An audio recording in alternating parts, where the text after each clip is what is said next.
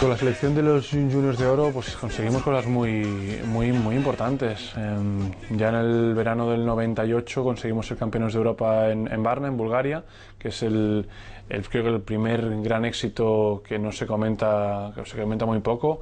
Eh, luego ganamos el campeonato del mundo oficioso en febrero del 99 eh, en Mannheim y luego ganamos el, ya el, campeonato del mundo en Lisboa eh, en ese mismo año. fueron tres éxitos, tres oros consecutivos en, en periodo de un año que, bueno, que ahí ya pues, dábamos señales de, de, la gran calidad que teníamos como, como jugadores, pero también como, como personas y, y hemos podido tener una continuidad eh, y un, yo creo una carrera magnífica. Lo mejor que le ha pasado al baloncesto español, o sea, todo lo que nos está dando esta gente. Yo creo que todavía les debemos de pedir un poquito más, que hagan un esfuerzo, por llamarlo de alguna manera esfuerzo, que es hacer lo que les gusta, lo que quieren, que aguanten hasta la Olimpiada de Brasil. Yo confío en que estén los Juegos Olímpicos de, Río, aunque eh, tenga que descansar, por ejemplo, en el próximo Eurobásquet y, y, tal, pero después de los Juegos Olímpicos de Río se hace, se hace difícil. Además, me temo que Pau es una bandera de enganche también para la generación.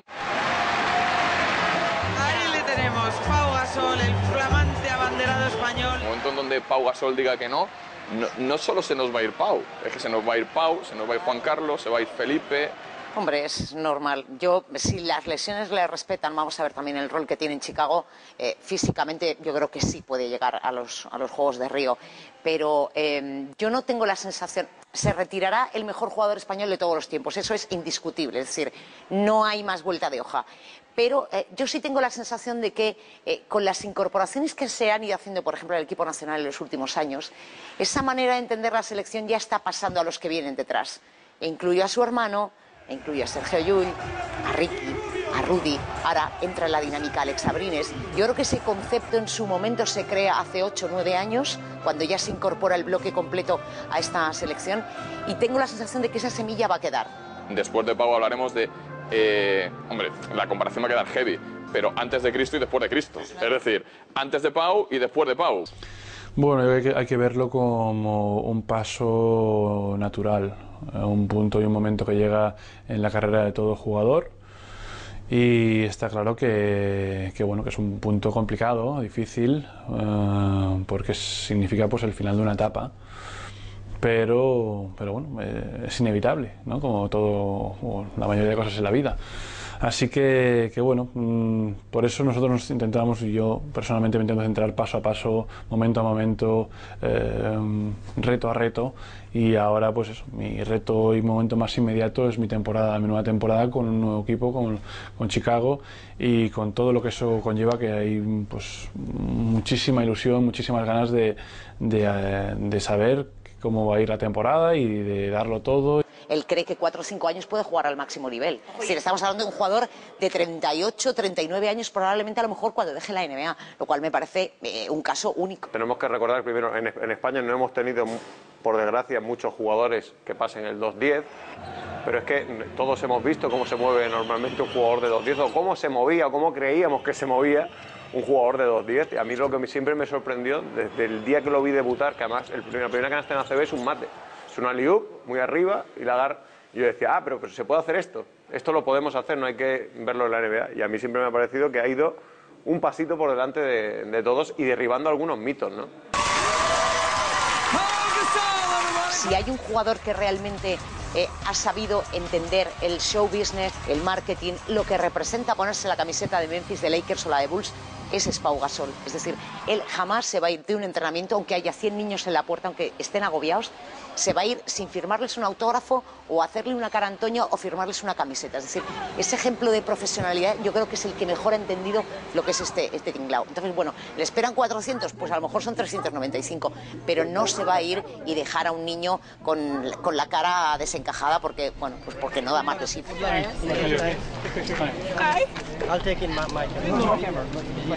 Eh, Paulo puede decir en en, en los comedores de las villas olímpicas, yo recuerdo el de Pekín porque lo vi, pero me imagino que fue en Londres, en Atenas, en, en- en todas partes, eh, Pau se sentaba a comer, se sentaba a comer, yo creo que comía con una mano y con la otra firmaba. Yo recuerdo un día que Pau nos dijo, os voy a llevar a un sitio maravilloso. Nos llevó a un bar de barrio que era donde comía cerca de, cerca de San Boy, que era donde solía, donde solía comer él siempre.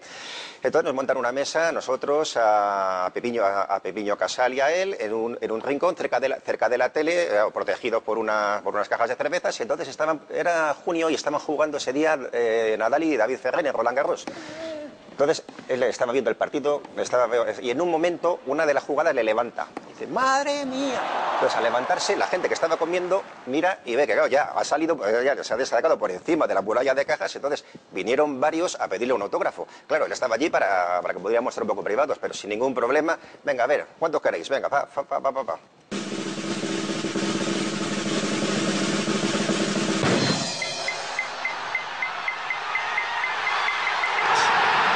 voy a dar una última oportunidad. Deberéis dejar el deporte.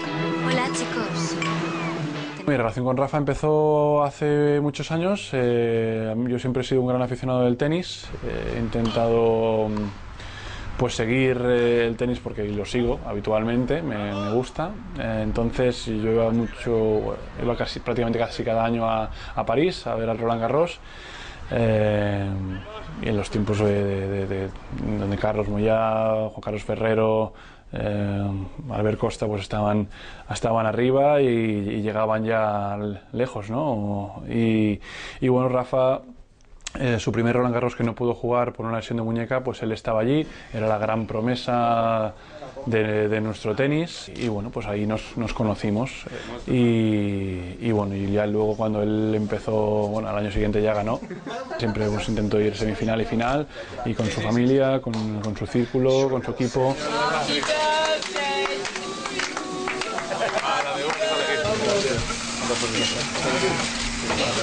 Bueno, gracias, chicos.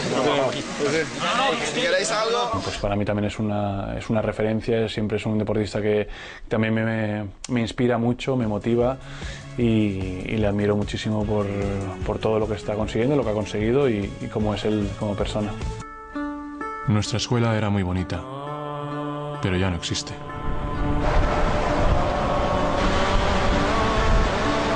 Yo quería mucho a mi profesora, pero quedó atrapada en su casa y se ahogó. Me gustaría volver atrás en el tiempo, pero no puedo. Gusto lang balik at turas. Kaya ko na ito'y kuwan. Narawaray naman.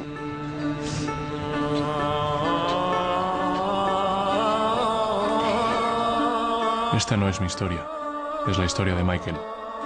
Su país fue arrasado por un tifón. Como nadie escucha su voz, he decidido prestarle la mía. Llevo ya muchos años haciendo trabajo eh, humanitario para la, para la infancia. Entonces, eh, yo he tenido una infancia privilegiada, he tenido eh, muchas oportunidades y, y lo que intento con mis diferentes acciones y actividades es el, el eso, proporcionar eh, esas oportunidades a, a niños que, que no las, que no las tienen de otra manera. Por lo tanto, ya sea pues a través de, siendo embajador de UNICEF, como ahora con nuestra fundación que hemos creado eh, y con diferentes iniciativas y programas con los que he colaborado, pues siempre intento eso, alegrar a los niños, inspirar a los niños, eh, transmitirles al- algún valor que considere importante para ellos y, nada, y que puedan tener oportunidades eh, en su vida para tener éxito y desarrollarse en su plenitud. Sé que se han dado casos de, de personas pues, que, han, ah, pues, que han tenido ganas o han tenido oportunidad de, de adoptar a un niño, por ejemplo, en una situación que ellos ven que está eh, pues, eh, pues, con mucha precariedad y pobreza, en situaciones extremas, ¿no? que se encuentran la mayoría de estos niños cuando vamos a, viajes a campo, eh, ya sea en África como en otras partes del mundo. Entonces sí que te gustaría coger a uno, no a todos, y, darles pues, una vida mejor, pero, pero bueno, es- no es esa la solución realmente del problema. ¿no? Eh, y yo no podría desafortunadamente hacerme cargo de un niño si no los tendría yo eh, propios. Así que, que bueno, intento eso, hacer mi, mi labor ahí como, como embajador, em, vivir y empaparme de las circunstancias que, que esas personas se encuentran y luego transmitir un mensaje. Eh, para que llegue al, al máximo de gente posible y podamos conseguir más ayuda.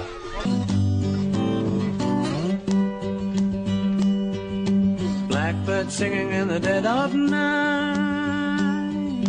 Take these broken wings and learn to fly. All your life, you were only waiting for this moment to arrive.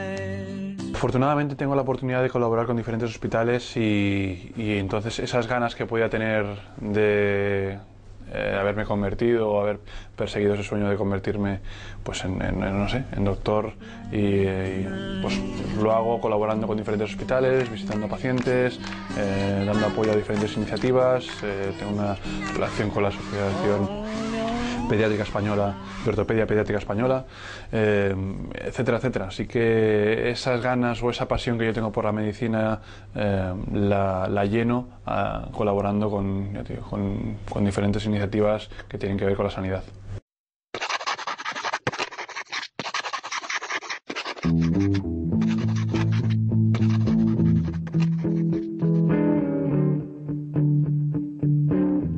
En mi vida yo hubiese pensado que Pau hubiese sido profesional de, de baloncesto.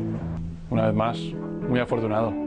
En la vida conocí mujer igual a la flaca, por al negro de La Habana, tremendísima mulata, cien libras de piel y hueso, 40 kilos de salsa en la cara, dos soles que sin palabras hablan, que sin palabras hablan. Flaca duerme de día, dice que así el hambre engaña y cuando cae la noche baila a bailar a la tasca y bailar y bailar y tomar y tomar una cerveza tras otra, pero ella nunca engorda. ¿No os la sabéis o qué? Pero ella nunca engorda. Venga, hombre. Ahí vamos. Por un beso de la flaca daría lo que fuera, por un beso de ella, aunque solo uno fuera, por un beso de la flaca daría.